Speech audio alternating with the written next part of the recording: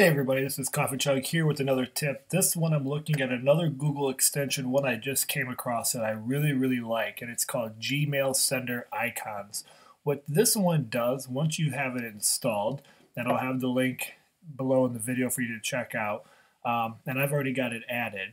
What it does is in your inbox, what it'll do is it'll put the icon of the person or the company that's emailing you right there next to the icon. So you can see, uh, it's just another visual way to see your inbox, which I really, really like. Um, and so what you do is once you install it, um, you just refresh your browser and you get all these different icons there.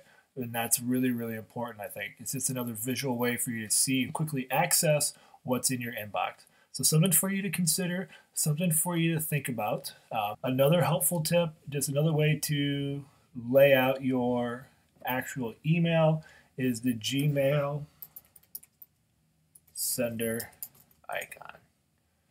It's right here. One for you to check out. Super nice, super super helpful. Let me know what you think. What are other things that you use within your Gmail or other Google uh, world to make your life more productive? I would love to know. Leave me a comment, reach out to me, and uh, I'll be sure to check it out and explore and see if it's something that can help us all out. Until the next tip, have a great day.